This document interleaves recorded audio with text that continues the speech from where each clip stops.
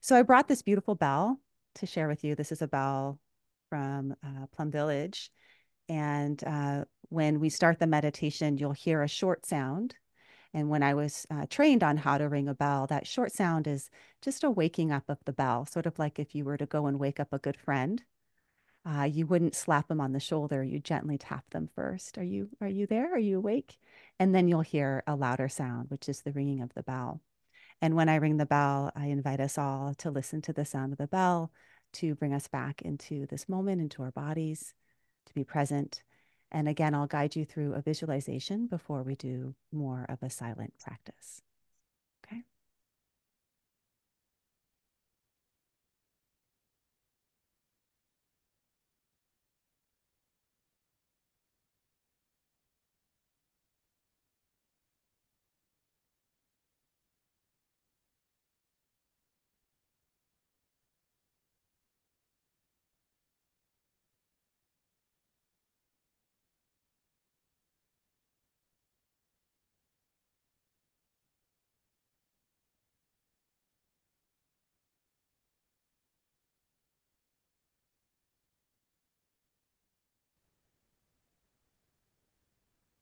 So go ahead and find your seat, noticing where your body makes contact with the ground,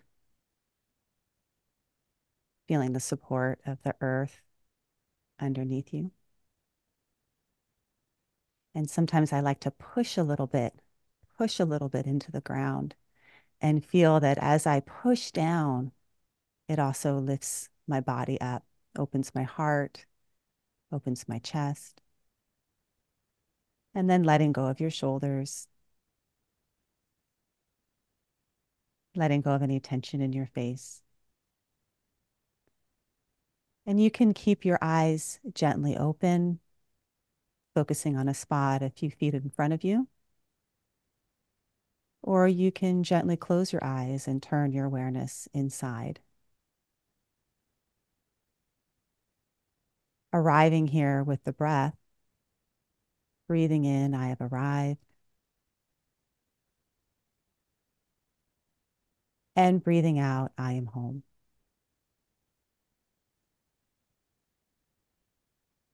Breathing in, arriving in the present moment.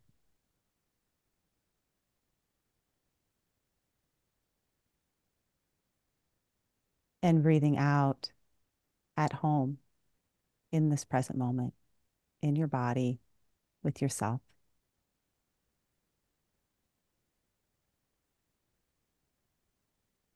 Arriving.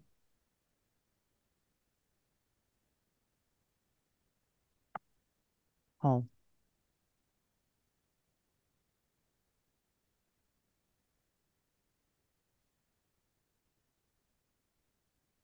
And you can allow that breath and that mantra to settle you into the here and the now.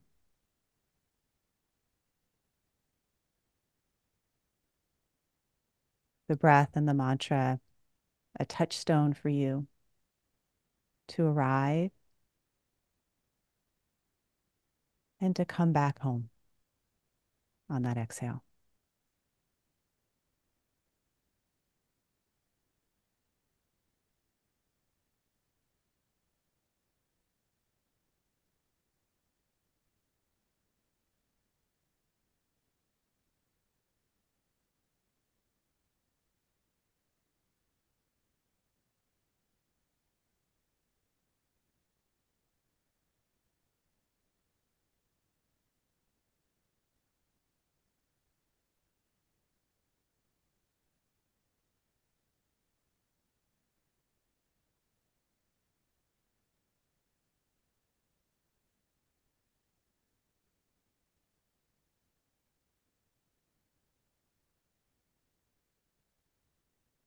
And as you arrive here with this breath,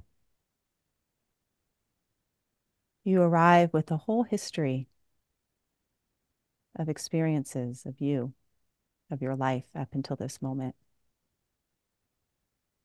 And as you land at home in your body, you feel that true homecoming of coming back to yourself. as a wise friend,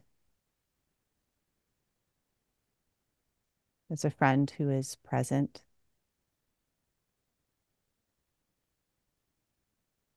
present for yourself, present for this moment,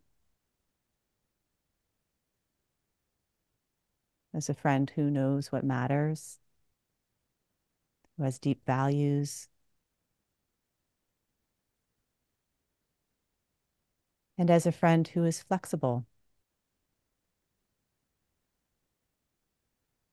adaptable, moving with the moment as the moment moves and changes.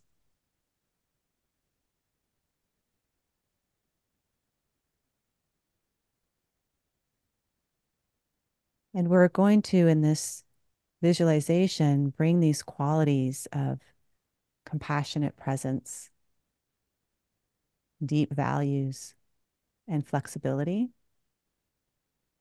to yourself.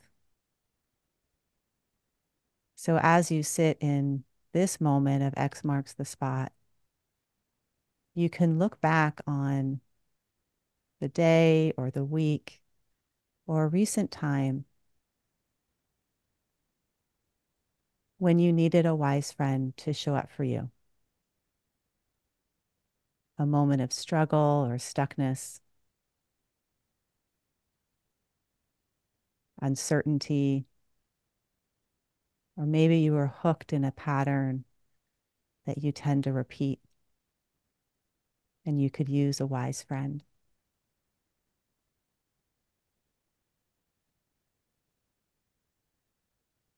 and choosing a recent time for you. you know, not way off in the past, but sometime more recently where you could have used some help. I'd like for you to imagine that you could walk back along this timeline of your life and see yourself in that moment when you could have used a wise friend. Look at how you were positioned, what you were doing, how you were stuck, maybe even how you were hurting.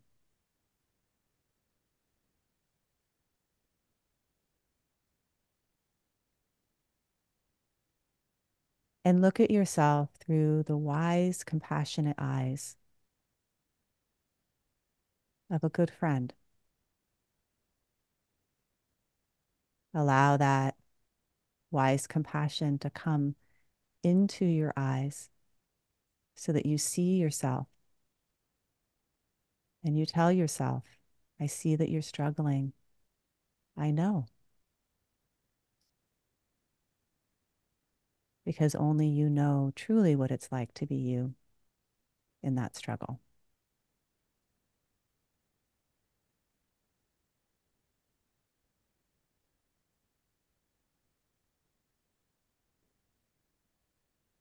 and as a wise, compassionate friend to yourself. You can also remind yourself that you won't abandon you, that you're there to support and maybe even offer some compassionate touch.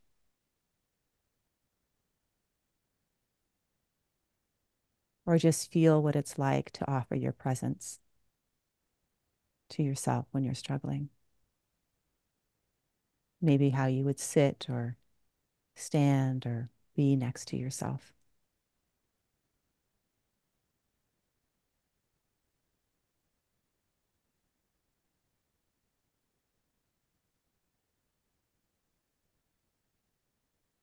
And as a wise friend, you also know that there's important things to you in this moment. There's things that maybe are hard that you need to do, or there's ways that you want to show up, that you have deep values that you want to live by. And as a wise friend, you can feel those, those values within your heart.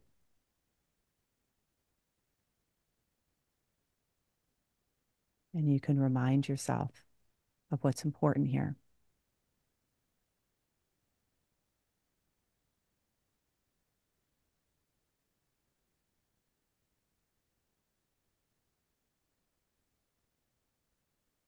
You can see that when you are struggling, sometimes it's hard.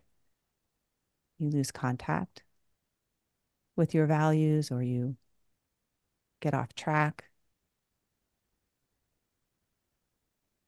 And you can gently remind yourself to do what is hard to do, to show up in the way that you know you want to show up.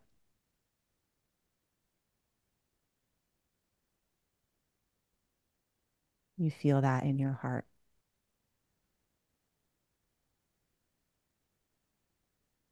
And as you look at yourself with these compassionate eyes and this loving heart, you also can notice that as a wise friend, you hold a stance of flexibility, adaptability. You encourage yourself to loosen up a little, let go a little of your rigid thoughts, that there's possibility here to see yourself beyond yourself.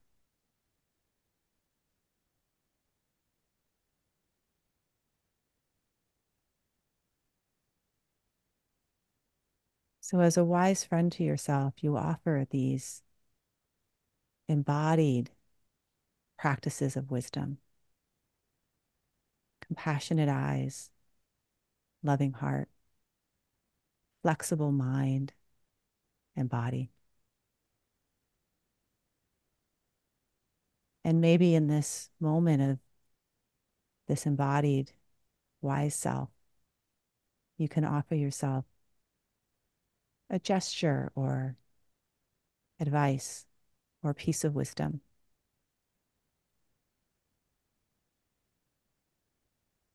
something that you needed to hear or feel.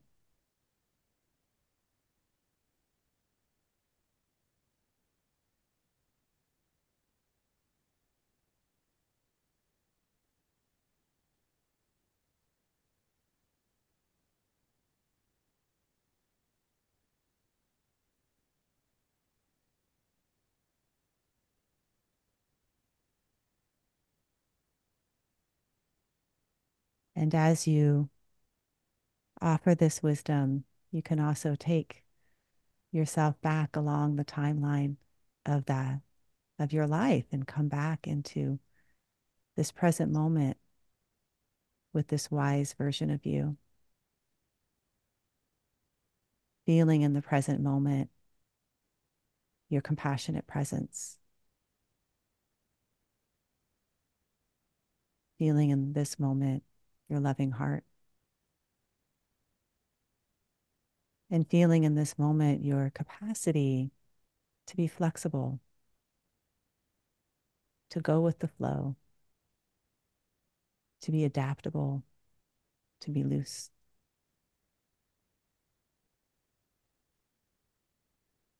And allowing these qualities to deepen and strengthen you in this moment.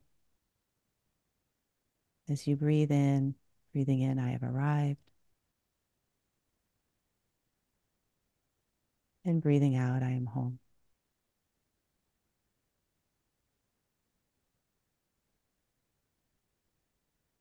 Allowing yourself to rest in this wisdom of compassion, this wisdom of your values, of what's important.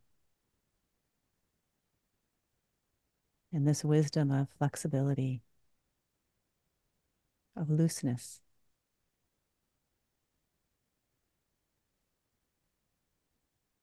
Of changing with change.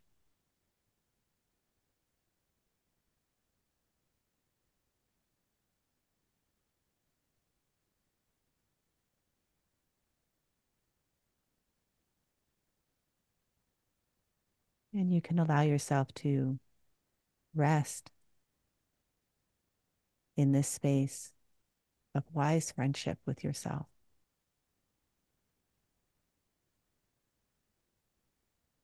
Breathing and being with these qualities.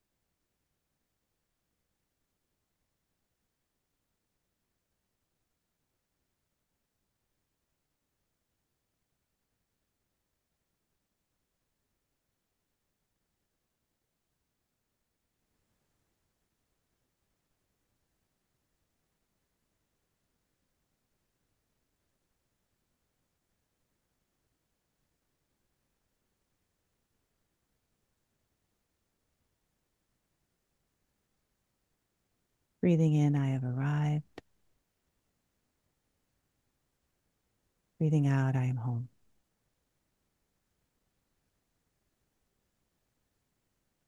Arrived. Home.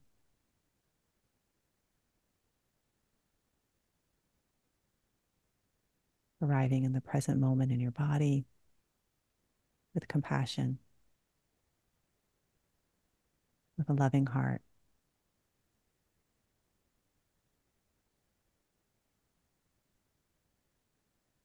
With flexibility and looseness.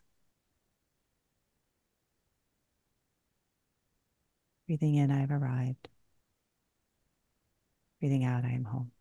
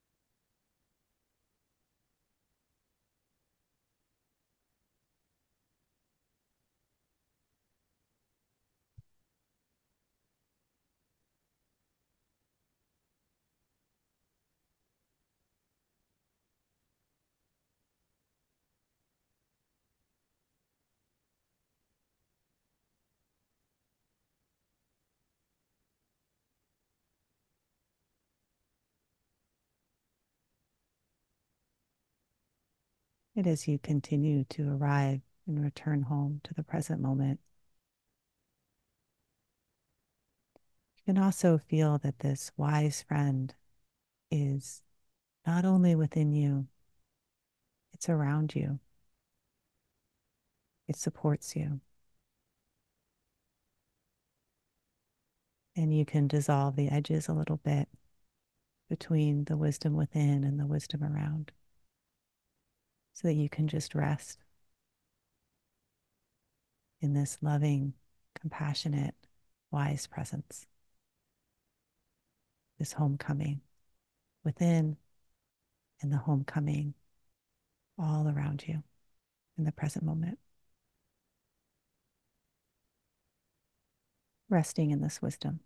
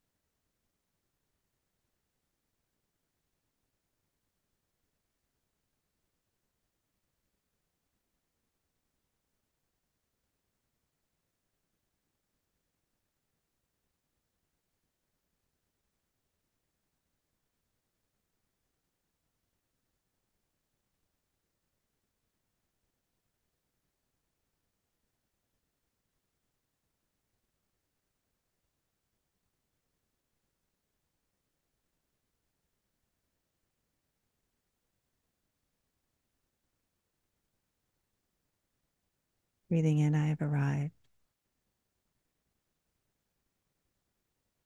Breathing out, I am home.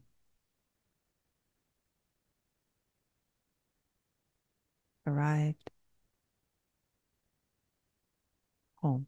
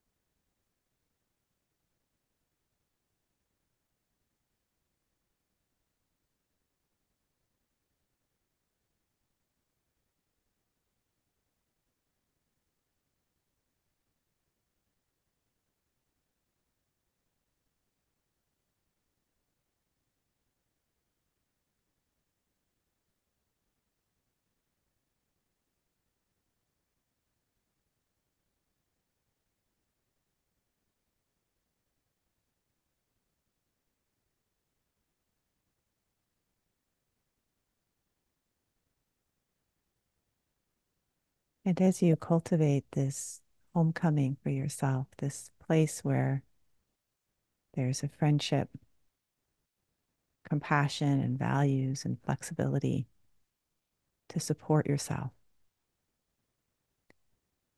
I also offer you the opportunity to share this friendship outwards, this wise friendship. So if you can bring to mind a, a person or a group, a plant or habitat or animal that could use some of your wise friendship.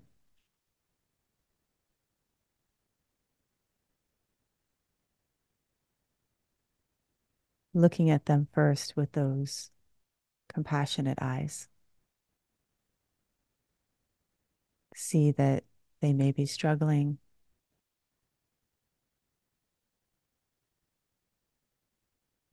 I'm in this with you. I won't abandon you.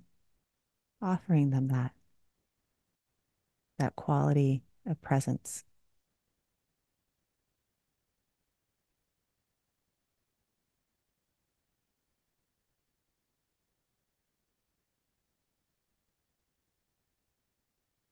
And feeling in your heart the values, the qualities that you want to offer to support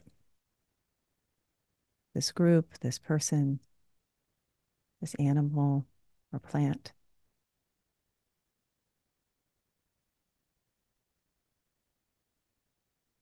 How you want to show up for them, what you want to offer them. You can offer that now.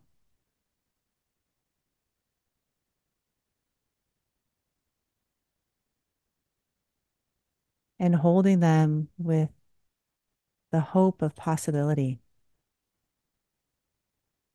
holding them with flexibility, with looseness, with lightness, and wishing that for them as well. That they feel supported but also have the room to adapt and change.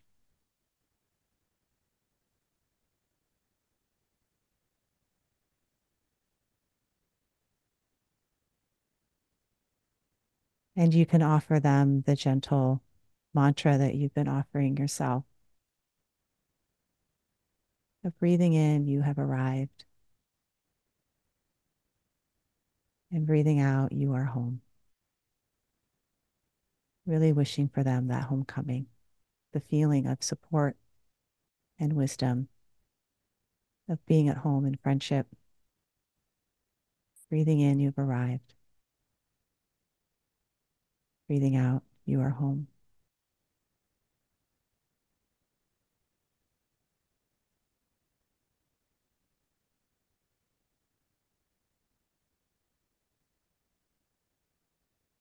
And then ultimately spreading this wise friendship across our whole planet to strangers, to people with different opinions or beliefs,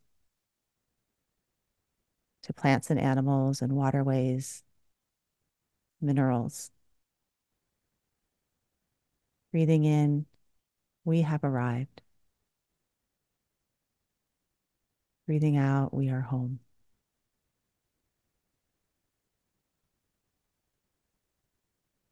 Breathing in, arrived. Breathing out, home.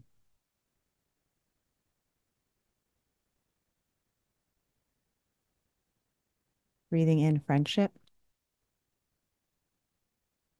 Breathing out, friendship. Breathing in, wisdom. Breathing out, wisdom.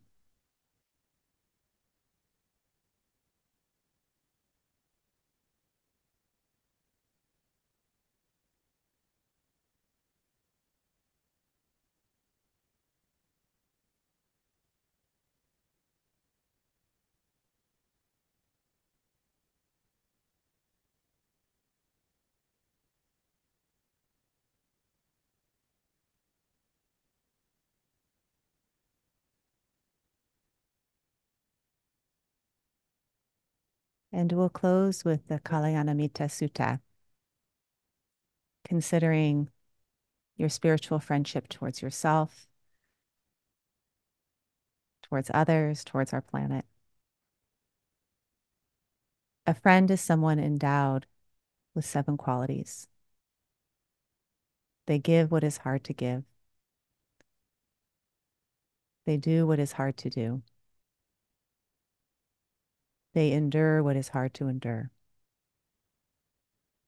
They reveal their secrets to you.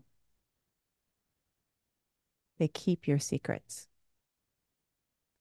When misfortune strikes, they don't abandon you. When you're down and out, they don't look down on you.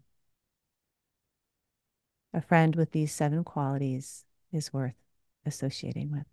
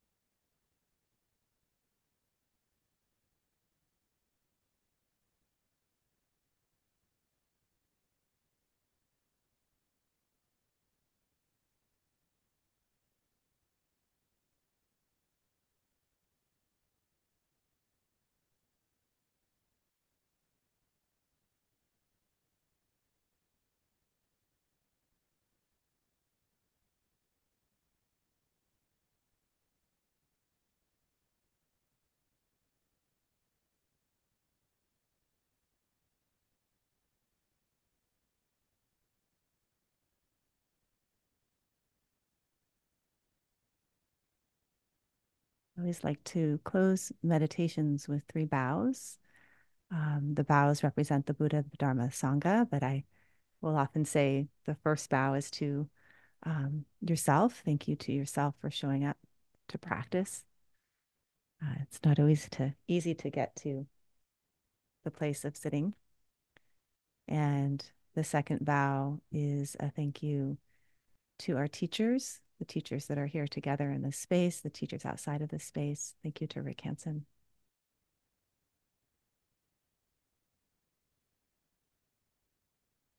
And then the third bow is to the Sangha, to all of you, to all of us. When we practice together, we support each other in our practice. So we bow to the Sangha.